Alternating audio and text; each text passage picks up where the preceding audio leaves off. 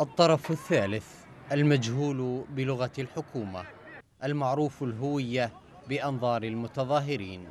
من ارتكب وما زال أعمال قتل وخطف وإرهاب ضد الناشطين والمتظاهرين.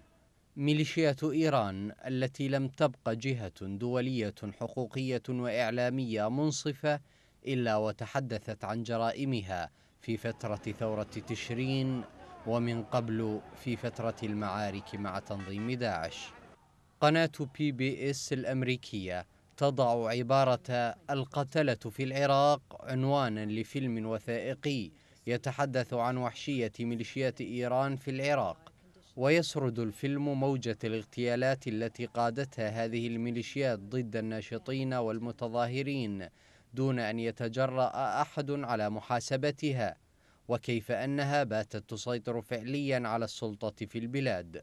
شهود من الناشطين تحدثوا عن فضائع هذه الميليشيات في ثورة تشرين ومسؤولون حكوميون اعترفوا في الفيلم الوثائقي أن ميليشيا حزب الله في العراق أهم الجهات المسؤولة عن عمليات قتل وخطف وتعذيب الناشطين.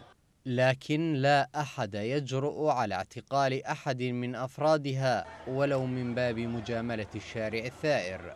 إلى الوراء بسنوات قليلة يعود الفيلم ليوثق جرائم الميليشيات في المناطق المستعادة واعتدائها على حرمة المساجد وهدمها. ويضع هذه الجرائم في خانة الانتقام الطائفي من السكان.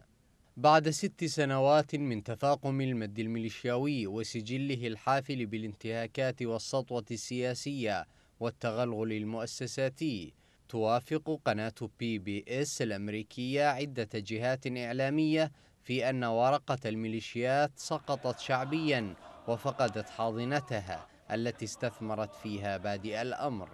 فلا أهل جنوب العراق ولا وسطه ولا غربه جنوا من ميليشيات إيران إلا الخوف والإرهاب.